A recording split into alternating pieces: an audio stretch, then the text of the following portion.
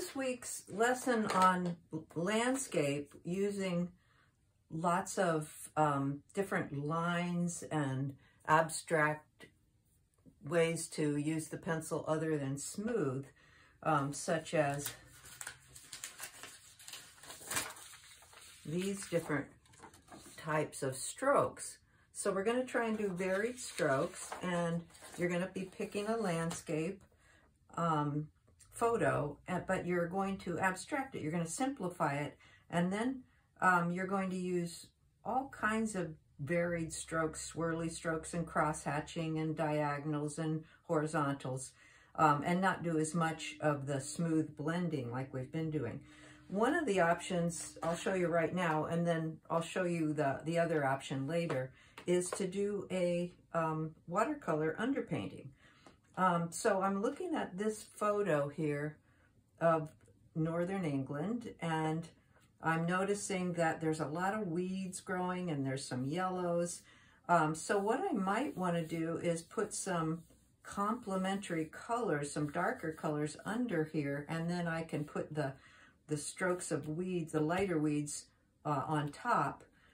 Um, and then maybe use some purples here. And I could even use um, like a blue or a yellow here and then stroke the other color on top.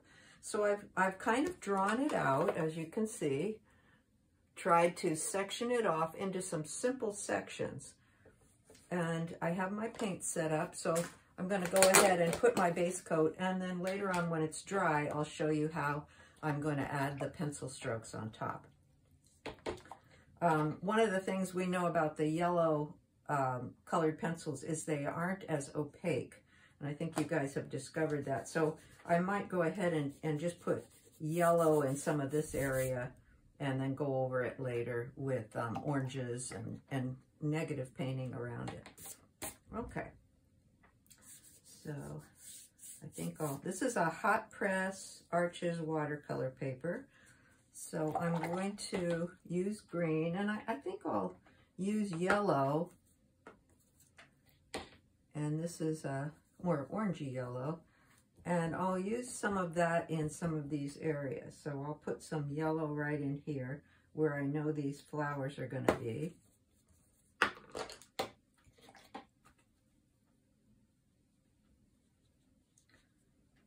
And then I'll um, have some turquoisey blue mixed in. Here's a um, manganese and cerulean, little uh, peacock blue.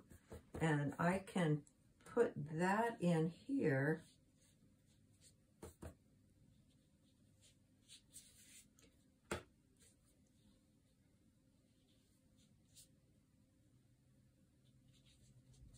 Then I can define the flowers later on with the colored pencil. So I'm just putting a, a really loose um,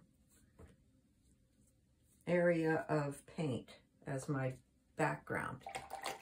And then I think I'll go ahead and put um, some yellows. Now let's, let's do some blues.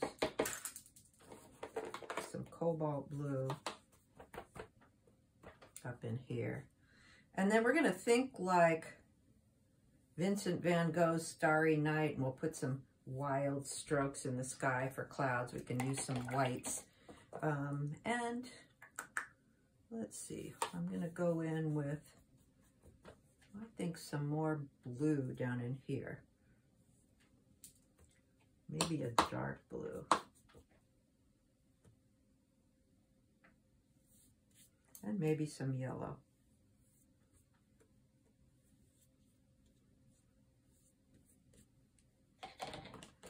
And then I think I'd like to do some purple down in here. So I'm going to use a, a cool blue, like ultramarine blue, right here.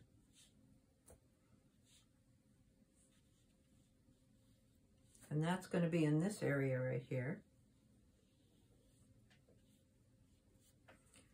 And then I'll put some permanent rose, which is a, a purpley kind of red, a magenta sort of red on top here. And the nice thing about this abstract way of working is you can you can make the colors brighter than what they what they would normally do and think about the way some of the abstract painters, the uh, Blue Rider and the, the Fauvists uh, did their work. Okay, and that's going to be my base coat. Then I'll come back later and show you what I do with this afterwards.